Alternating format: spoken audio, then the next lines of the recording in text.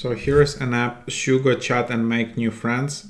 So in case you want to delete your account, here's how you do it. Just go to your profile in bottom right, tap on settings, tap on account and safety, and then tap delete account.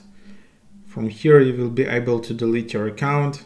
Mm, account deletion is irreversible. Once the account is successfully deleted, you won't be able to log in, use the account, or retrieve or dispose of any content.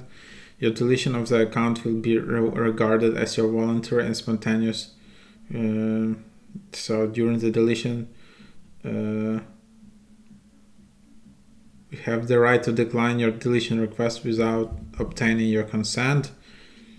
Uh, after the deletion is completed, only Sugo app will delete your personal information or anonymize it in accordance with the law. So that's that. And then you can just tap request deletion in the bottom left. So that's what you do. There are quite a lot of like some permissions and some conditions, which is quite unusual. But there you have it. Sometimes in these apps, that's what you do just to delete your account. Um, yeah, and if you want to protect your person like uh, uh, privacy and some data, that's what you can do.